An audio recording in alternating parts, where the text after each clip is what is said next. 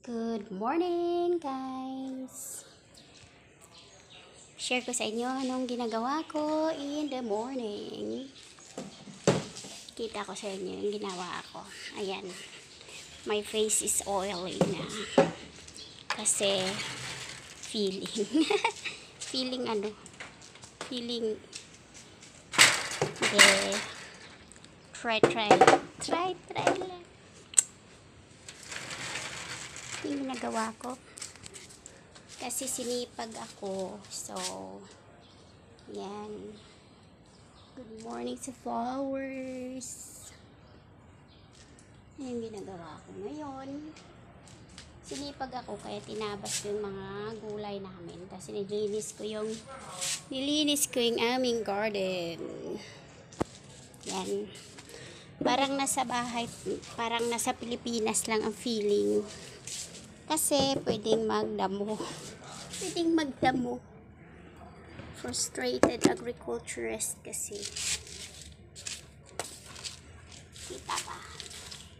Kita ba? Parang hindi. Ano kayong gagawin ko para ano? Ay, kunin ko yung kabayo. Ay, ito yung kabayo ko. Pakita sa inyo, binigyan ako ng kabayo kasi ang hilig-hilig ko mag-cellphone. So, binigyan niya akong kabayo para lalagyan ko ng cellphone. Wala pa kasi akong, ang tawag doon, tripod. Saan pa yung mukha ko? so, ikot ko kayo. Ito yung mga gulay namin. Yung iba, tinabas ko na. Kasi pangit yung tubo. Ito, iiwanan ko to para sa aming turtle. At yung mga bayabas. Yan, mayroon kaming mayroon kaming anong tawag dyan, sitaw.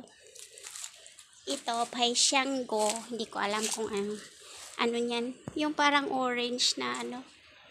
Parang orange na fruits. Ganda. Ganda. Tapos meron din kami mga roses.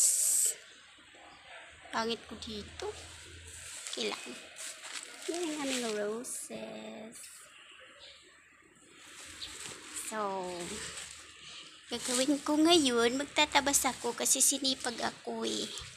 Feeling ko na sa bahay lang sa amin, sa Lalibertad. Lalibertad. Okay.